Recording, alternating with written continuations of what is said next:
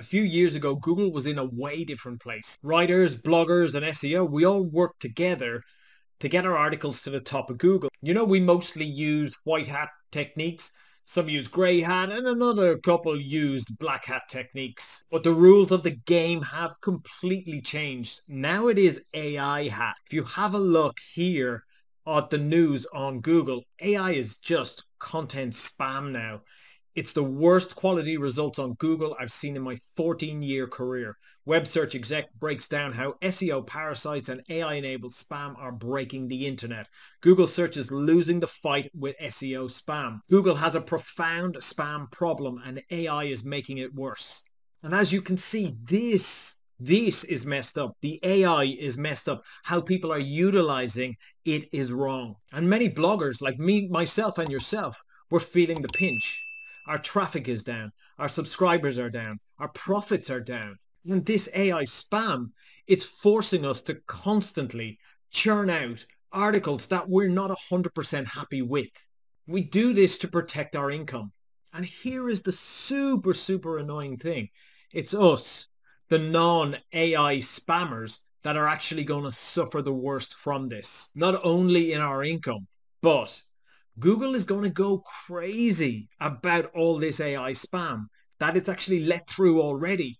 And this is going to be the AI Armageddon. It's going to destroy us. It's going to destroy us unless we learn how to ride this AI wave. Once I figured out about this issue, it all became clear. It wasn't as if Google weren't trying to tell us that this was going to happen. It's just that they didn't move quick enough for what people jumped on board for when ChatGPT came out. This will give you an example here. 53% of Americans want to use AI to generate passive income. And here are five ways to do it. What is the top one? Write a blog. Write a blog.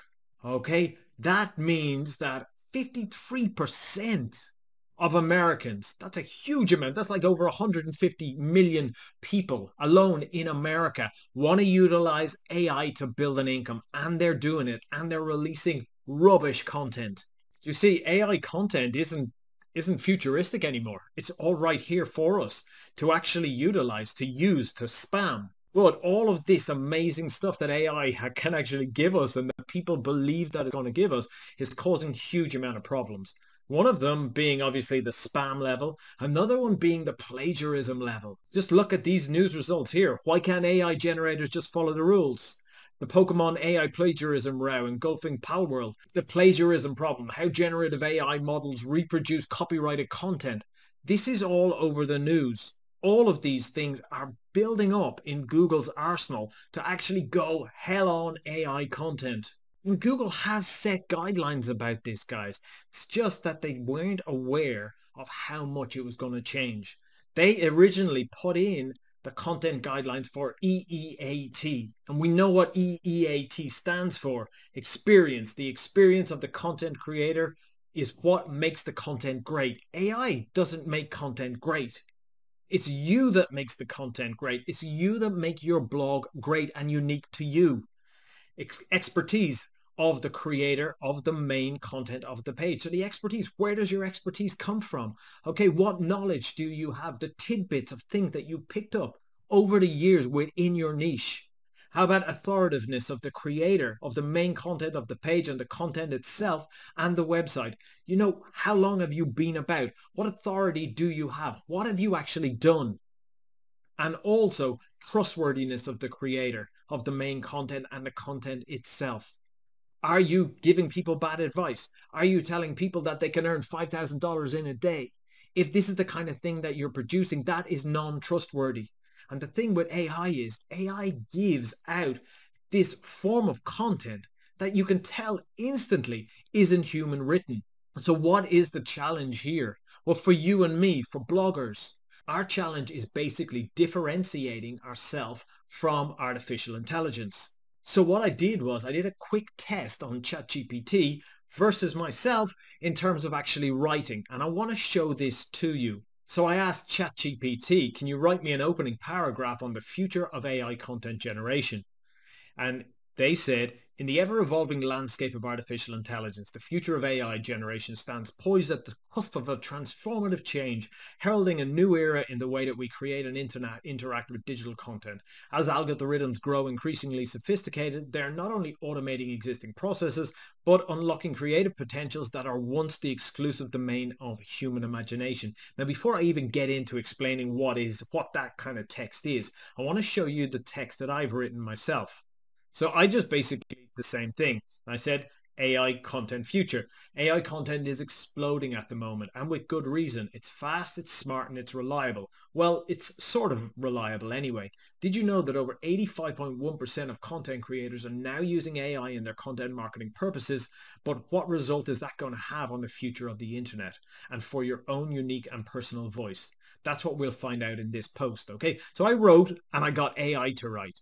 And then what I did was I got AI to actually say or to to ask, I asked the AI, is this human or is this AI? So I, I put both of them in and I said, um, which is human written and which is AI written.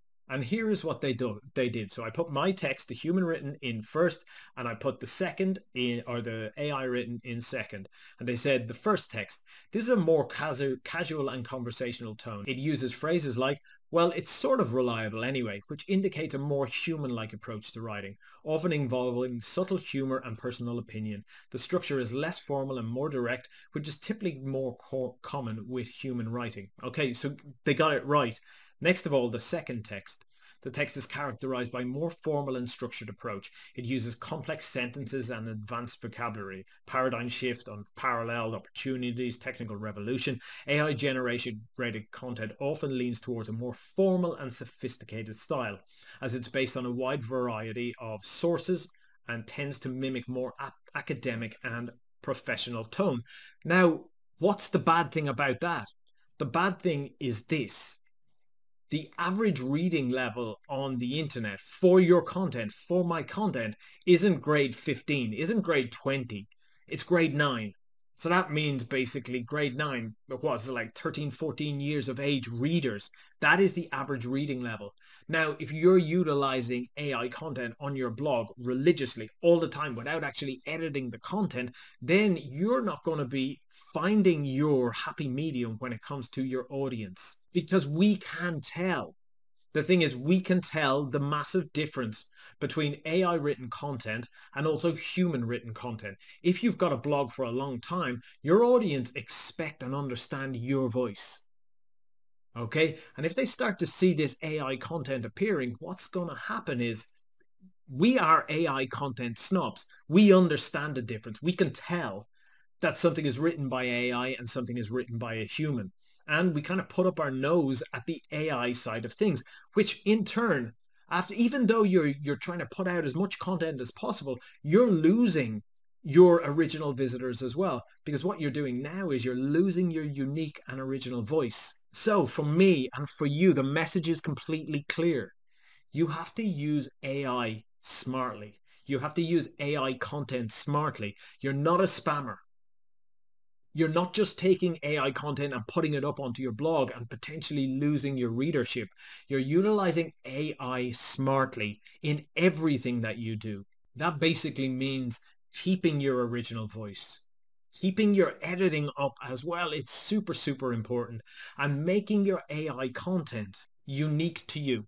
If you're having problems with your blog, if you're having trouble with growing your audience, potentially you want to check out my training called the Blog Profit Path. This is going to guide you on how to actually start, build and grow a successful blog within the AI artificial intelligence age. You can go to the link down below in the description. My name's been Ciaran Doyle. If you're new here, I hope that I've earned your subscription. And if you're returning, thanks so much for being here. See you in the next video.